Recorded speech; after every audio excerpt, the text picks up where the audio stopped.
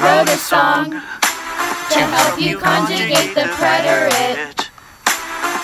It's not very hard. You just have to get yourself used to it.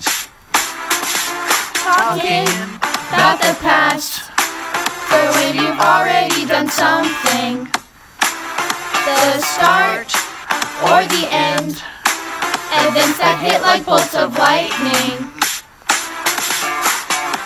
You conjugate verbs, but nothing's gonna last. It always ends up in the past. Once an action is done, preterite's the one. Uh, uh, A, I say oh, almost. I said on, go on the end, hit ending gets dropped. E, E say eo, emos, E stands for on. Oh, oh,